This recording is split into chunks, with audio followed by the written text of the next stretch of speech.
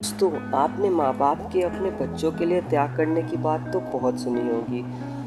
आज मैं बात करने जा रहा हूँ उन जीवों के बारे में, जिनको हम कहते हैं लैम्प्रेस इनके जबड़े नहीं होते, ज़्यादातर ये दूसरी बड़ी मछलियों के ऊपर बिल्कुल लीच जैसे चिपक के खून चूसती हैं।